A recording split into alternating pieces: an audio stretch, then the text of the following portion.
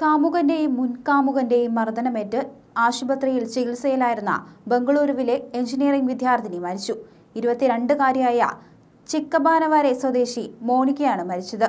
ഈ മാസം ഏഴിനായിരുന്നു മോണിക്കയ്ക്ക് കാമുകന്റെയും മുൻകാമുകന്റെയും മർദ്ദനമേറ്റത്.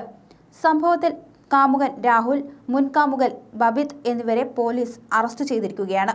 ഇവർക്കെതിരെ കൊലക്കുറ്റത്തിന് കേസെടുത്തിട്ടുമുണ്ട്.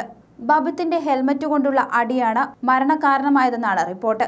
നാലു വർഷത്തോളം നീണ്ട പ്രണയത്തിനൊടുവിൽ ഏതാനും മാസങ്ങൾക്ക് മുൻപായിരുന്നു ബബിത്തുമായുള്ള ബന്ധം മോണിക്ക വേർപെടുത്തിയത്. പിന്നീട് മൂന്ന് മാസങ്ങൾക്ക് സുഹൃത്തായ രാഹുലുമായി അടുക്കുകയും പ്രണയത്തിലാവുകയും ചെയ്തു. കഴിഞ്ഞ ഞായറാഴ്ച യുവതി രാഹുലിന്റെ വീട്ടിൽ പോയി. മോണിക്ക രാഹുലിന്റെ വീട്ടിലുണ്ടെന്നറിഞ്ഞ മുൻ കാമുകൻ ബബിത്ത് അവിടെ എത്തി രാഹുലിന്റെ വീട്ടിൽ വെച്ച് രാഹുലും മോണിക്കയും തമ്മിൽ തർക്കമുണ്ടാവുകയും രാഹുൽ മോണിക്കയെ മർദ്ദിക്കുകയും ചെയ്തു.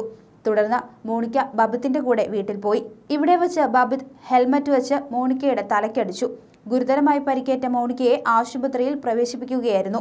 ബബിത്തിന്റെ മർദ്ദനമാണ് മരണത്തിന് പ്രധാന കാരണമായതിനാൽ ഇയാളെ ഒന്നാം പ്രതിയാക്കിയാണ് പോലീസ് കേസെടുത്തിരിക്കുന്നത്.